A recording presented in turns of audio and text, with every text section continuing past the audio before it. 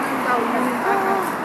Basta ko ko, kapag umaga ako, pwede mag 6 hours ako. Parang yung babawi na daw yan. Hindi mo. Pag inilisip, daw na uwi na ako.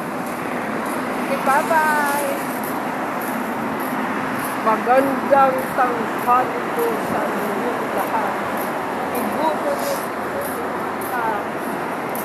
senador sa kangkungan.